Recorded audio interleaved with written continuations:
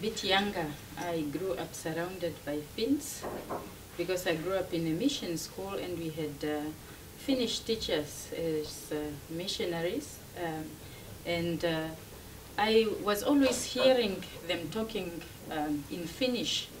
And for some reasons, I did not even bother to, to learn the language because I thought there would be no need. I will never go to Finland anyway. But today here I find myself in Turku. How I wish I had learned the language then.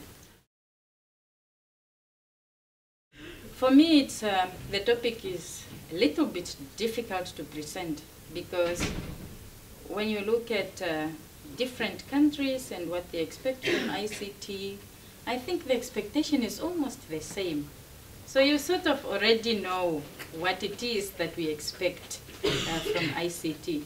And I think this makes it uh, a bit more challenging for me to present this topic to you today. But I thought, let me just tell you a little bit about Namibia. Because a lot of people that are attending today are anyway from the Future Technologies Department.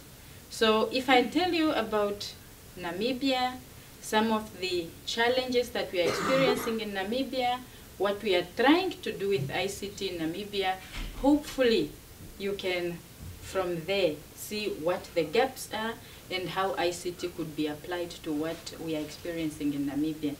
And of course, uh, as Professor Sutinen indicated, uh, the purpose of my visit here was for us to see how we can collaborate and part of that includes the introduction of a, a postgraduate program in uh, data science, which will be offered by the University of Turku, but to African students. It's not just Namibian students, it's, uh, it's going to be an international program.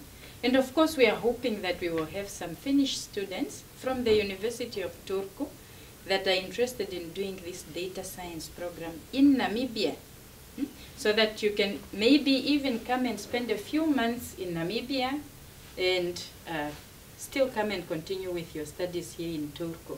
I am looking forward to welcoming some of you to, to Namibia in this program. Vision 2030 is expecting us to produce world-class citizens, products and services by 2030 to ensure that we offer a prosperous livelihood to the people of Namibia. But when you look at that document, everything in that document is just ICT. ICT for effective government and service delivery, ICT for economic advancement, ICT for social progression, ICT for international relations and cooperations. So really it is everything that we are, uh, are planning to do in the future. You can see that the underlying factor there is ICT. It is really now up to us as a university and the highest uh, uh, tertiary education in, in, in the country to make sure that we train people that are able not only to design applications, to design interventions that are able to solve this, to, to solve uh, uh, com computing problems, but people that are able to look at what it is that we have in the country and to translate it into some, into making something that will be useful for all the citizens of, uh, of Namibia.